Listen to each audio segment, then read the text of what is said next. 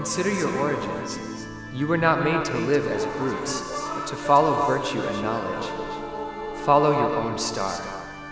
The customs and fashions of men change like leaves on the bough, some of which go and others come. Remember tonight, for it is the beginning of always.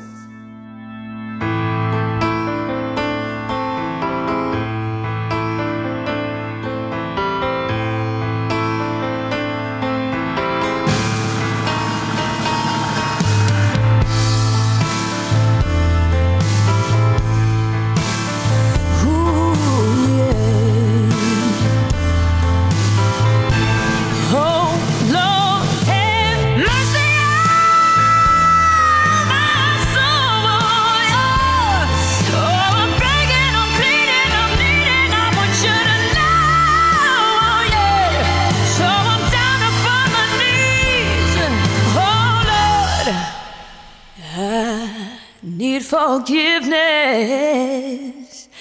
I need forgiveness from.